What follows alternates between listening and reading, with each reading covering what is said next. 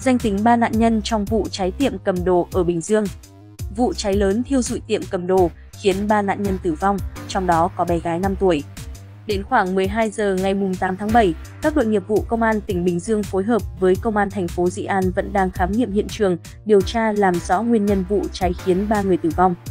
Danh tính của các nạn nhân được xác định là Nguyễn Xuân Hoan, 31 tuổi, Đỗ Thị Uyên, 30 tuổi, cùng quê ở Thanh Hóa và cháu Đỗ Việt Anh, 5 tuổi, còn chị Uyên. Theo thông tin ban đầu, khoảng 9 giờ 10 sau tiếng nổ lớn, lửa bốc lên từ tiệm cầm đồ Hương Huy Hoàng nằm tại ngã ba Triều Liêu, phường Tân Đông Hiệp, thành phố Dĩ An, Bình Dương. Thấy vậy, người dân hô hoán đập cửa gọi những người trong nhà nhưng không ai trả lời. Mọi người dùng bình chữa cháy và nước phun vào dập lửa nhưng bất thành. Nhận được tin báo, lực lượng phòng cháy chữa cháy thành phố Dị An đàn huy động 6 xe chữa cháy cùng 30 cán bộ chiến sĩ xuống hiện trường, khống chế ngọn lửa. Khoảng sau hơn 30 phút đám cháy được dập tắt. Đám cháy lớn khiến toàn bộ tài sản bên trong cửa tiệm cầm đồ khoảng 200 mét vuông bị thiêu rụi. Thời điểm diễn ra vụ cháy, tiệm cầm đồ được đóng chặt bằng cửa cuốn và khóa bên trong.